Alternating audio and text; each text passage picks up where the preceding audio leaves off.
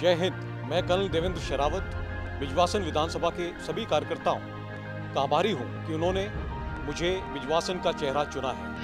भ्रष्टाचार के विरुद्ध लड़ाई और स्वराज को गली मोहल्ले तक ले जाने के लिए हम अंतिम सांस तक संघर्ष करते रहेंगे। वंदे मातरम।